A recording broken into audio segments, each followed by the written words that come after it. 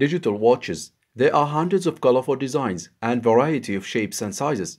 But how does it work? And what is the principle behind this piece of art? This is a simple two buttons watch and I will disassemble it to see what it consists of. First, let's uncase the module container.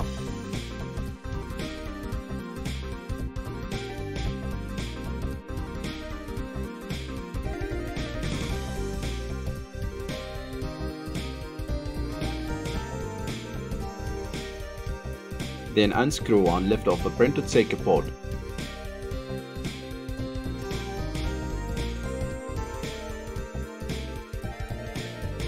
Like any other electronic device, this watch powered by a cell battery. And digits that show time and date will appear on this LCD display. Let's go back to the printed circuit board and see its components.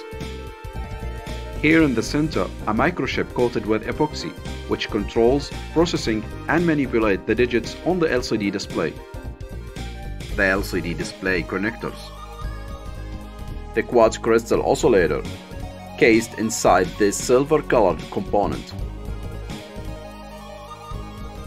When the electric current passing through the quartz crystal, the crystal will deform and causing it to vibrate 32,768 times in a second.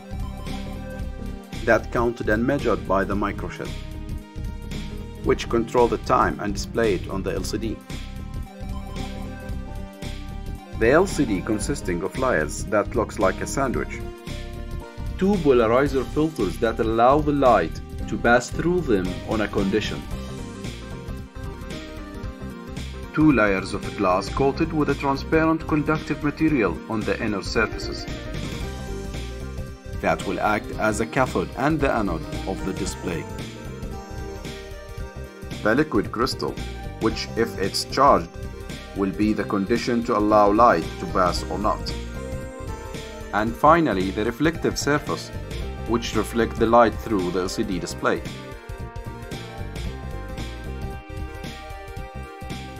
And here's the layers demonstration.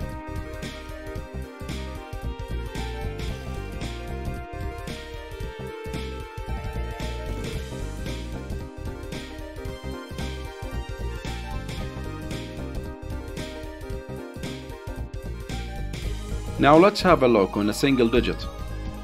To show a digit on the display, the number 5 for instance, we have to switch on the following segments.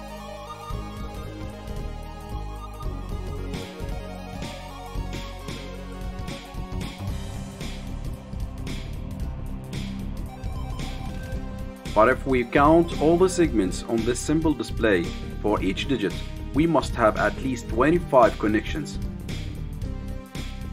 but there's only 13 connection on the PCB. So what's the trick? Let's have a look on the two glass layers and see the transparent schematics. The top or front layer and the bottom or back layer. And as you can see, the gray segments are the intersections area between the two layers, which will appear when turning on. Let's talk more about them. At first, let's switch off all the segments.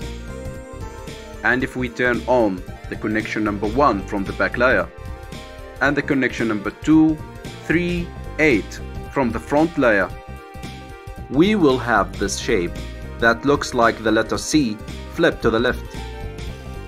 Now let's assume that we want to show the time quarter past 12 on the watch.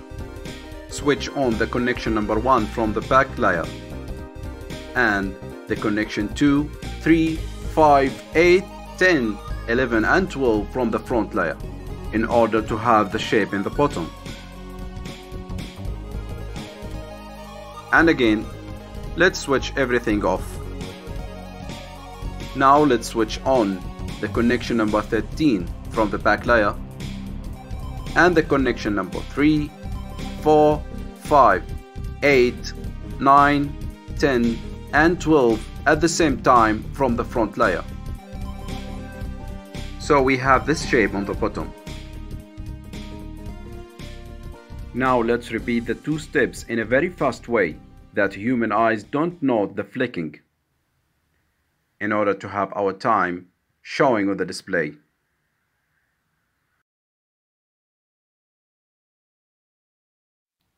Thank you for watching. Have a good time